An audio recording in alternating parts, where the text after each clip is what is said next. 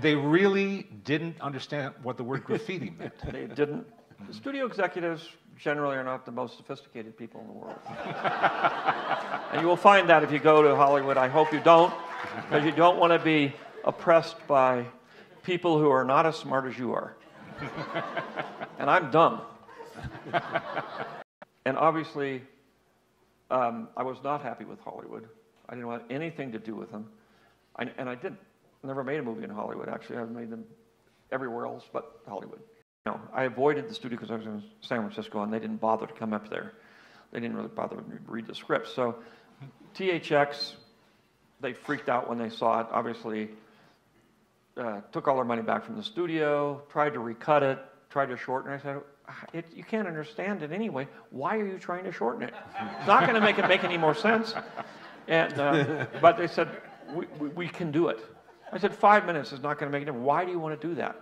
You know, I put my heart and soul in this thing, and to me, it, it means something. You know, you just come in here and whack a few fingers off and think there's nothing to it. And so I was really angry about that. Then they did the same thing in American Graffiti because they thought it was a terrible movie. They put it on the shelf. They cut it. They cut five minutes out, the magic number. I said, why would you do that? I said, it doesn't make any difference. They said, well, we did it because we can do it. And I got really upset. They put it on the shelf. And so I was determined from under that thing of having them make cuts. And uh, so what happened was once uh, Star Wars was a hit, I had, out of defense, acquired the sequel rights because they figured it wasn't going to go anywhere. No, nobody thought it was going to make any money. So it was like half of nothing is nothing. So they let me have the sequel rights. Uh, so I went to them and I said, look, I don't want, i will take my salary. I'm not going to ask for a million dollars. I signed the deal memo and that's what I believe in. But everything is not mentioned in the deal memo. I'm going to relook at. it's about action figures. All the money's in the action figures. Yeah, okay. Uh, you know, so you, if you own the movie, yeah. which I came to do, you make a lot of money. Uh, but you have to own it. But that means you have to put the money in. You know, so you have to take the risk. You know, the story of that was when I was talking to Laddie, Ladd Jr., you know, on, on the first Star Wars, we were sitting in his office and I said, and the deal was, you know, I got my $125,000 uh, and I said, you know, now we're splitting the profits, net profits. Nobody ever, ever, ever made money on net profits. No. ever.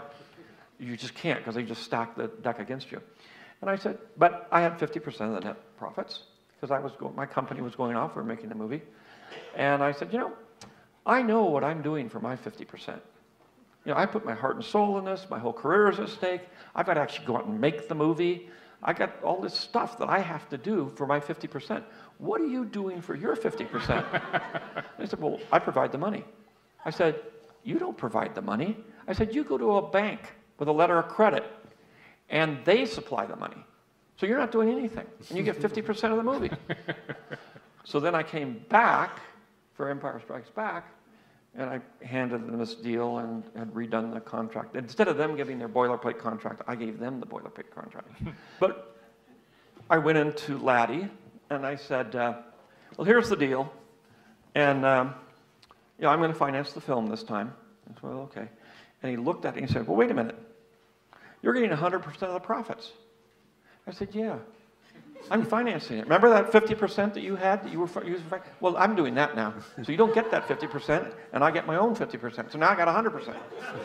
I'll give you a little distribution agreement on the side here.